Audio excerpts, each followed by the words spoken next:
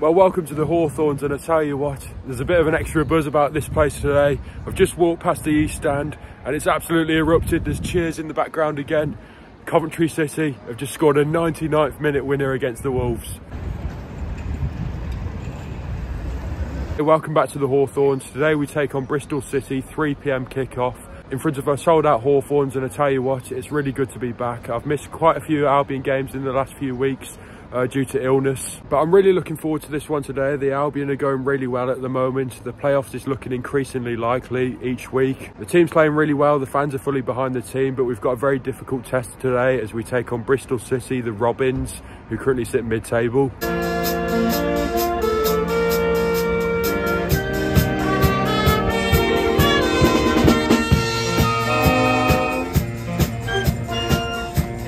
Been to the club shop, bought myself an absolute beauty of a West Brom retro shirt.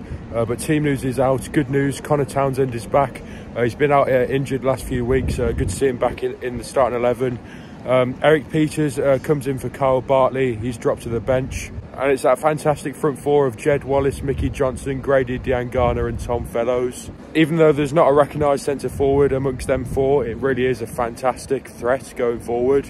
Obviously, Andi Weimann can't play today as uh, we're playing against Bristol City. He is on loan from Bristol City, so no involvement for him today. But Taylor Gardner-Hickman starts for the Robins today. It will be interesting to see how he's uh, getting on. I quite liked him at the Albion, obviously one of our own. Always was a fan of him, but it's probably the right decision to let him go in the summer. What are you thinking for today, mate? I'm saying 3-1 to the Albion. Who do you reckon's going to score? Um, Johnston, Johnson, yeah. Kid Bryan, Dave Garner. I reckon 2-1 Albion. 2 on Albion. Both Johnson. Johnson. 2-0 Albion. 2 on Albion. Who's Johnson and Wallace. Give it to me. Come on, you baggy. Come on, you baggies! Come on, you baggies! Come on, you baggies!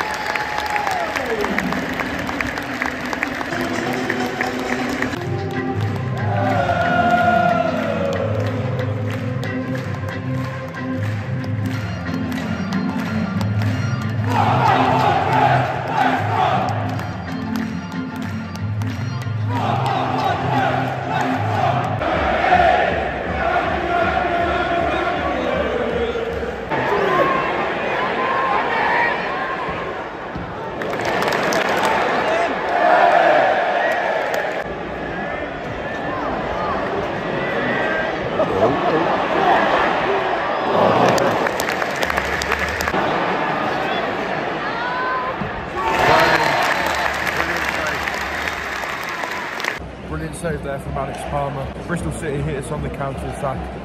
It was in on goal there, one on one situation. Fantastic save. Uh, first 25 minutes or so, Albion have uh, probably been the better side, had a lot more of the ball.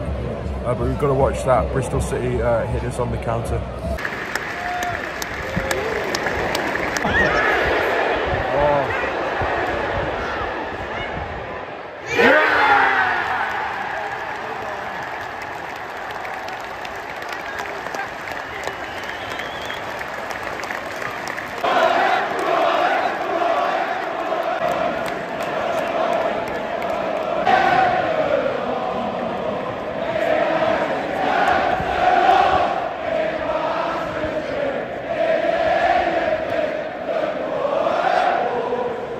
One nil to the Albion here just before half time. Tom Fellows with the goal. Fantastic team goal that. All came uh, once again from Mikey Johnston cutting in on his right foot. Uh, I thought he was going to have a very similar goal to uh, Huddersfield last week. Um, Johnson took it every touch, it fell to Costu. Uh, he had to move on to Tom Fellows. But a brilliant finish. Albion uh, take the lead just before half time. Half time, 1 0 to the Albion. Um, I thought we was going to struggle uh, to break Bristol City down. Uh, they're, not a bad side at all. They've set up really well, really tight and compact. Uh, it's been difficult to break them down. Albion have had to be patient. We've had a lot of the ball, uh, but Bristol City look uh, like a good team. They're working hard for each other. Uh, we, we've got to watch them on the counter attack as well. But a brilliant team goal right at the end of that half, and a fantastic time to score it as well.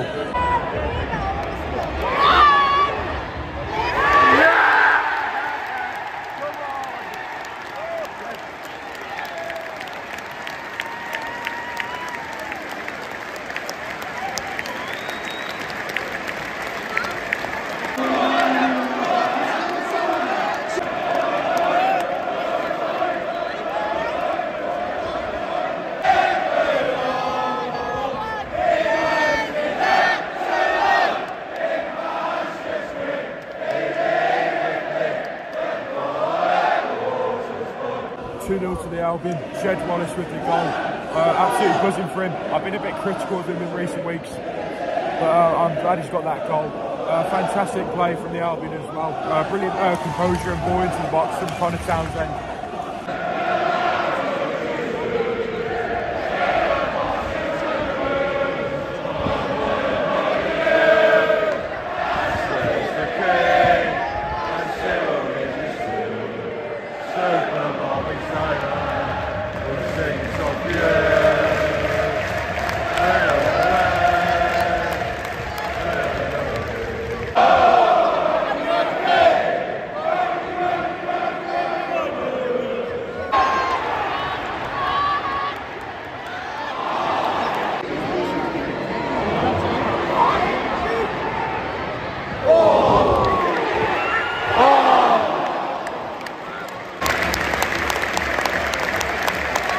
Diangana's going off now for John Swift.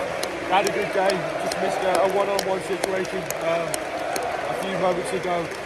Uh, but a standing ovation from the Albion crowd, crowd for Grady. Yokuslu just had a very good effort on goal as well. Um, nearly scored two screamers in two weeks.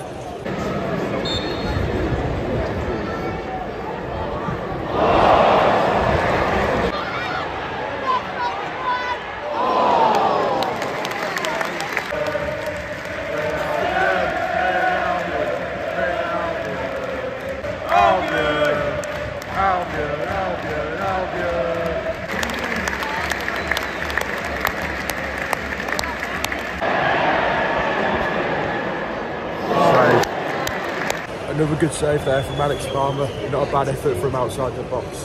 Uh, Bristol City knocking the last five minutes or so.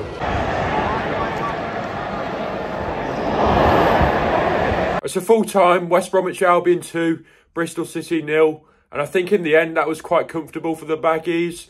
Bristol City pushed the last 20 minutes or so to try and get back into the game. But I think overall, over the 90 minutes, Albion were, were, the better side and deserved the win. You know, Bristol did have their moments. They had that one-on-one opportunity in the first half. Alex Palmer made himself big and pulled off a great save. They had a few good efforts from outside the box. They hit the bar twice. I thought they set up well in the first half. Uh, they was very tight and made it very difficult for Albion to break them down. Albion had to be patient. But I just think Albion's quality showed over the 90 minutes. Those two wide men Albion have got now of Mikey Johnston and Tom Fellows is really difficult for opposition defences to handle. When Mikey Johnston cuts in from that right-hand side, it is really dangerous. Yokuslu and Mowatt were great again today as well. And I also thought that Jan Mavilla, when he came on, looked solid as well. I can't really fault any of the Albion players today. It was good to see Conor Townsend back playing for the Albion again. I thought he had a solid enough game. Uh, did really well for the Albion second goal. Darnell Furlong's really starting to build up some good form as well. But it was a great afternoon at the Hawthorns. It always is when the Albion win. Uh, fair play to the Bristol City fans that travelled. A good away support made some good noise as well. If you did enjoy today's video, make sure to give the video a like and subscribe to my channel if you are new. I'll see you in the next one, guys. Up the Albion.